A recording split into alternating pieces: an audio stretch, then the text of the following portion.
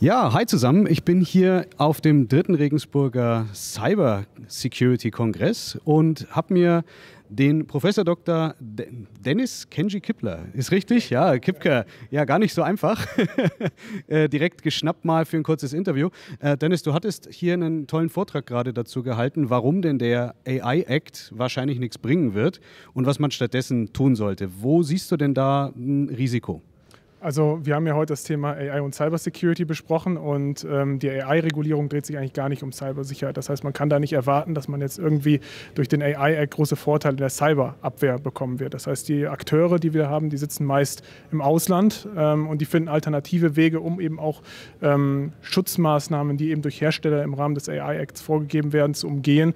Ähm, und darum hat sich letzten Endes auch mein Vortrag gedreht. Und wir haben ja gesehen, repressive Maßnahmen sind die eine Seite der Medaille, aber weil eben Gesetze Gesetze und Behörden nicht zu 100 Prozent vor den Cyberbedrohungen schützen können, ist es eben wichtig, dass ich in die Prävention gehe. Was würdest du denn präventiv unseren Zuschauern und Zuhörern so empfehlen? So vielleicht so aus der Hüfte rausgeschossen, so zwei, drei Empfehlungen.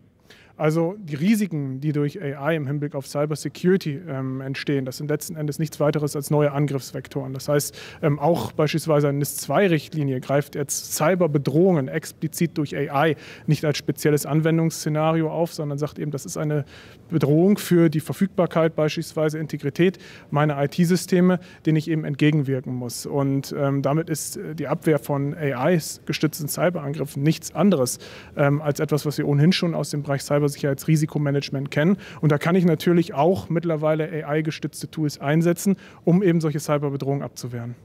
Äh, geht ja schon fast so geistig so ein bisschen in Richtung Hackback auch, ähm, könnte man jetzt annehmen, weil wenn die äh, KI benutzen, um uns anzugreifen, dann benutzen wir halt KI, um zurück anzugreifen. Wie stehst du zum Thema Hackback im Allgemeinen? Also Hackback ist natürlich noch mal ein etwas anders gelagertes Thema, weil es natürlich staatliche Akteure betrifft. Und da haben wir auch lange gesehen, dass Hackback eben nichts bringt, um nachhaltig die Cybersicherheit zu verbessern. Wir sehen das ja auch aktuell äh, im Bereich Cyberoperationen, die durchgeführt werden, jetzt nicht unbedingt von der Bundesrepublik Deutschland, aber von weiteren Akteuren, dass eben auch gewisse Kollateralschäden eintreten können. Das heißt, ein Hackback ist definitiv keine Maßnahme, ähm, um Cybersicherheit an der Stelle zu verbessern. Was natürlich die Unternehmen dort machen. Ähm, und wenn man jetzt sagt, ähm, AI wird eingesetzt, um eben ähm, Cyberangriffe abzuwehren, dann geht es dann erster Linie um Prävention. Das heißt, dass man zum Beispiel Anomalien ähm, in Netzwerken erkennt und dann automatisiert auch darauf äh, reagieren kann, auch wenn man beispielsweise nur ähm, geringfügige personelle Ressourcen hat. Und natürlich äh, kommt es bei Cybersecurity-Abwehr auch in ganz gewisser Hinsicht auf die Geschwindigkeit an. Und äh, da kann natürlich AI dabei helfen, ähm, auch diese Abwehrgeschwindigkeit zu erhöhen. Ja, habt ihr vielleicht bei uns auch auf unserem äh, YouTube-Kanal gesehen, da hatten wir letztens auch einen schönen Beitrag zusammen mit einem unserer Rechtsberater eben zum Thema, wie hilft denn KI weiter. Da könnt ihr gerne mal auch natürlich dann auf unserem Kanal vorbeischauen. Eine letzte Frage hätte ich noch allerdings.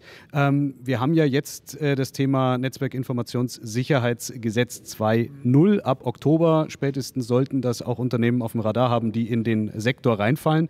Ähm, hilft das denn jetzt gerade auch im Hinblick auf die Entwicklung im Bereich KI und Cyber Cybercrime weiter oder ist es wieder ein weiterer Papiertiger, den die Bundesrepublik und Europa sich da gebastelt hat? Ja, also ein Papiertiger ist es jetzt nicht. Es besteht der Bedarf. Ähm, wir haben ja gesehen, Cyberangriffe betreffen nicht nur kritische Infrastrukturen oder irgendwie DAX-Konzerne, sondern der Mittelstand ist definitiv auch betroffen. Genauso wie bei staatlichen Einrichtungen, wo das steht nochmal auf einem ganz anderen Blatt Papier geschrieben. Ähm, aber ähm, die NIS-2-Richtlinie ist definitiv notwendig, um die Cybersicherheit flächendeckend zu verbessern. Natürlich kann sie nicht eins zu eins als Blueprint verwendet werden. Das ist eine Technologieregulierung und äh, Risikoanalyse, Risikomanagement ist hochindividuell.